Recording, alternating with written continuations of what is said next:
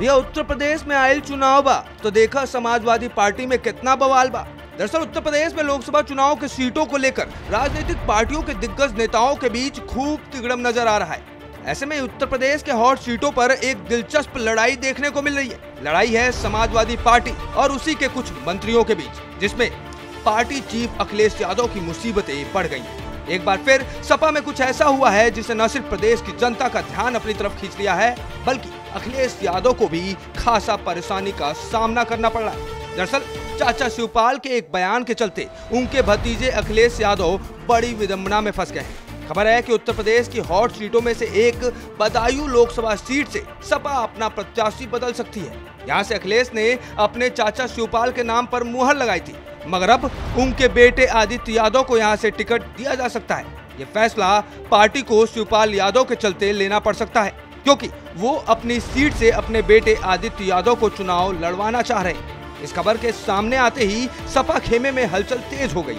वहीं सियासी जानकारों में ये सवाल उठने लगा है कि आखिर बेटे को शिवपाल बदायूं से क्यों लड़वाना चाहते हैं? अब इससे पहले कि हम इस पर कोई जानकारी दें, चलिए आपको सबसे पहले खुद शिवपाल यादव के जुबानी इस कहानी के पीछे छुपे राज को सुना देते हैं।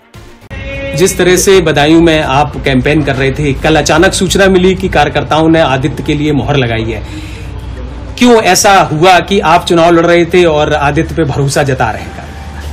अरे लोग पढ़े लिखे लोग वहाँ जनता ने जहाँ जहाँ गए हैं मीटिंग करी है सम्मेलन करे हैं तो जनता ने मांग की करी है कि एवा चाहिए तो मांग करी है। तो अब टिकट की क्या संभावना है? कब तक मिल जाएगी? कैसे फिर आप देखते हैं कि आदित्य को टिकट मिलती तो कितनी जीत कितने अच्छा से? ये बताओ अभी जो समाजवादी पार्टी की सूची जारी हुई है उसमें किसका नाम? किसका नाम? आपका है? बदायूं से तो आपका आपका है। ही है। हाँ तो फिर? तो देखिए मांग करी है। मांग तो कोई कर सकता है। जी। तो सूची तो राष्ट्रीय नेतृत्व ही जारी करेगा तो जारी करी है।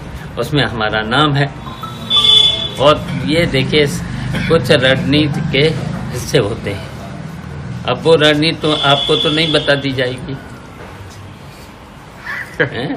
रणनीति को रणनीति नहीं चुनाव के ऐलान के बाद से ही अखिलेश अपने प्रत्याशियों को बदलते नज़र आ रहे हैं। ऐसे में उनका ये रवैया मतदाताओं पर गलत प्रभाव डाल सकता है। समाजवादी पार्टी के इन हालातों को देखने के बाद सियासी जानकारों का तो कुछ ऐसा ही मानना है।